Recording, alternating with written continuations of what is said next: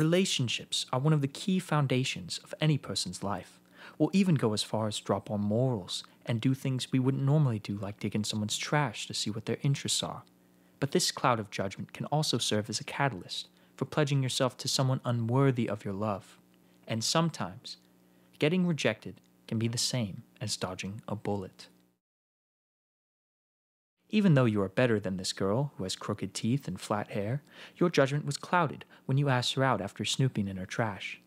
She may be popular at school, but that's only because she's a big tease. Yet, for some reason, she turned you down.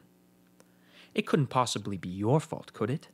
The mature, responsible man, while sitting alone in his room, curses her, and all his friends are probably laughing at him behind his back. He knows this to be true, and instead of doing the easy thing, moving on with his life, the responsible adult will come to understand that she has wronged him, and that is unforgivable.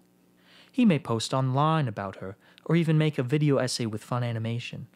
Anything so other people will see how truly awful a person she is.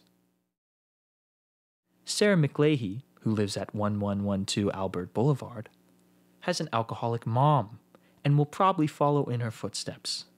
You have dodged a bullet, but she has made the gravest mistake of her life.